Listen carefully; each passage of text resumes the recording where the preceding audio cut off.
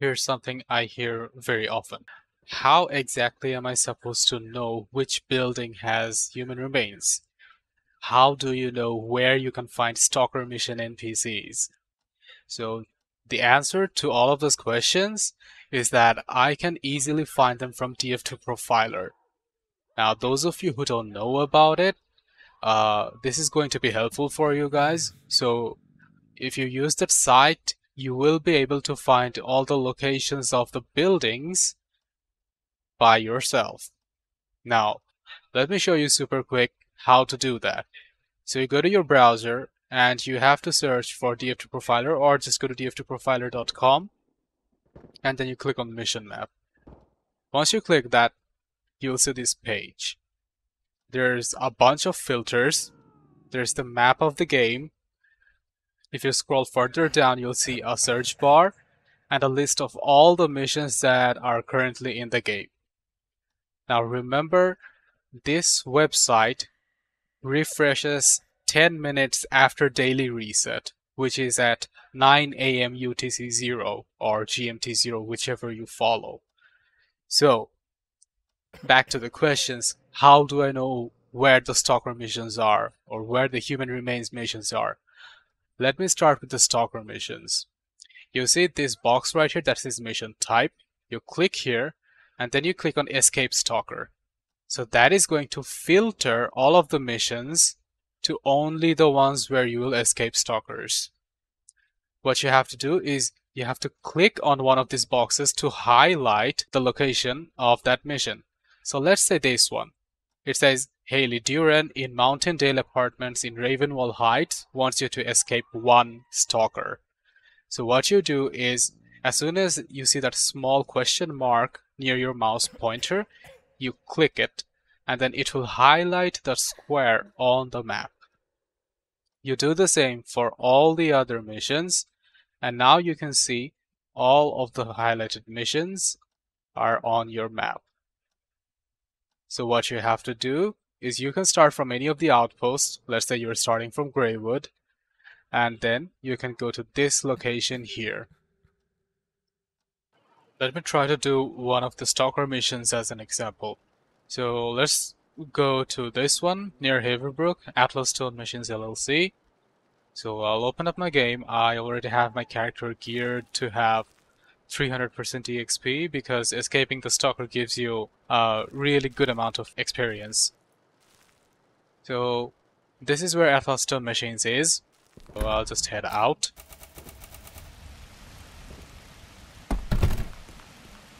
You have to remember that DF2 Profiler doesn't exactly give you the room location of the NPC.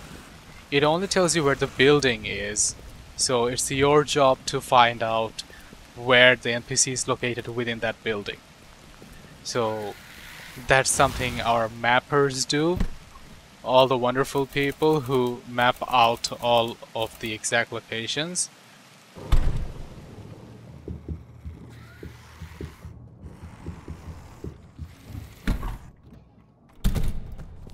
You might come across bosses like this.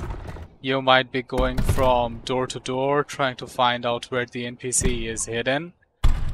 So it actually takes a long time for them to search and find where exactly the NPC is hiding. It could be in the bottom floor, could be in the second floor, could be anywhere. The NPC for this building is right here, Juliana O'Neill.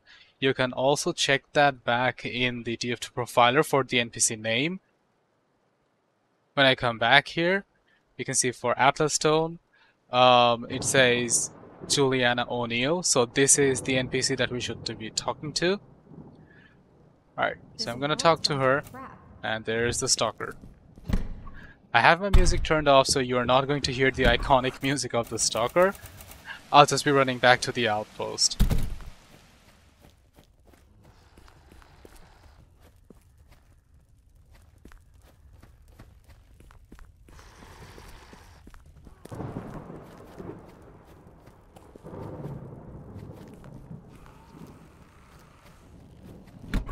Going back in.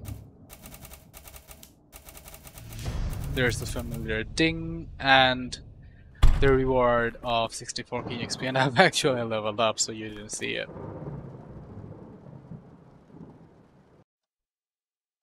To get back to the default view, just click on clear filters here and you can also click the clear highlighted missions and that's going to give you the fresh map again. Now how do we find the human remains? You should notice that there is no separate category for the human remains. However, you can use the mission text search box here to find the human remains missions. All you have to do is click here and type human remains and that is going to show you all the locations for the human remains missions. Now remember, you don't have to talk to the mission giver NPC to start the missions. All you have to do is go to the house, kill the boss, and loot the remains. In order to do that, you have to click near the bottom side of each box. Now, if, remember, if you click on the top side, it's going to highlight where the NPC is. You don't need to talk to the NPC. You only have to find the human remains and you can just turn it in at the outpost. So make sure you click near the bottom. Okay? So this is the location of the human remains. Now do the same for all of the other missions. And there's your map for human remains. If you want to make a path, you can do it manually, or you can just click here and click on automatic so that the site suggests you how to go through each of the locations. Now close to Dallbow, you can see Vaughn Lodge, where you'll be able to find a boss, and after defeating it, you'll be able to loot it for human remains. You can do the same for all the missions that are highlighted here. Here's how we're gonna do it. I'm at Dallbow Outpost right now. This is where Vaughn Lodge is. Time for me to head out. Now remember, the location that you get from DF2 Profiler, that's only for the building. It doesn't tell you which room you can find the boss in, which means you have to go to the building and search by yourself for the boss. Now, there are ways to look for the boss very quickly. Um, those tricks or tips will be shared at some other time. For now, let's just go to the house and look for the boss, and once we find it, we can loot the human remains from its body.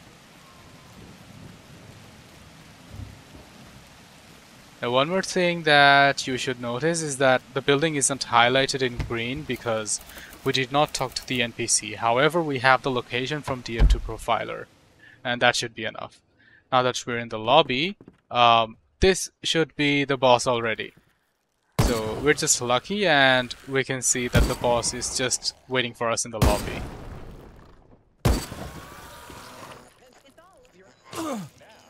See? These are the human remains.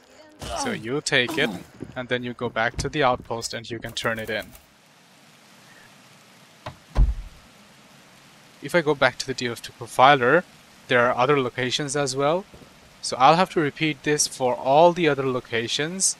I'll have to go to each building and search for the human remains. Now for those of you who are connected to the Dead Frontier Discord, there's a channel called DF2 Mission Info. You can come here and usually find a map that has been posted every day, usually within two hours of reset. These maps, they are all made voluntarily by our wonderful mappers in the community. What they do is they take the locations from the DF2 profiler and then they explore each single building for the human remains or the stalker NPC. For those of you who followed this video so far, you guys can try to do the same. You can explore and uh, try to make maps for the community. That's going to help a lot of people. I hope we'll be seeing a lot of people collaborating in the future to make maps for the community. I suppose that's it. Um, hopefully I didn't miss anything important, but this is, I think, as simple as it can get maybe I'll try to make even more detailed guides in the future and I'll try to cover other mission types as well or maybe how you can do the fine items mission maps but for now, I guess this will have to do. So thank you very much for watching. Maybe I'll see you guys next time.